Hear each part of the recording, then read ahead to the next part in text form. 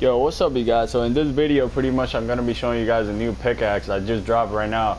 Uh, I'm gonna be making a little review of it. Let me know what you think about it. Uh, I didn't buy, I won't buy the skin, the, the other skin with the pumpkin on his head. That skin is pretty ugly. I don't like it in my opinion, but let me know. Uh, so I did pick this up. So this is how it sounds.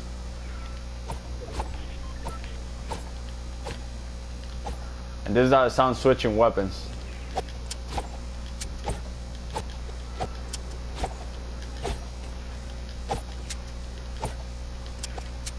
Sounds pretty good in my opinion. Let me know what you guys think in the comments. This is how it sounds when you're hitting anything.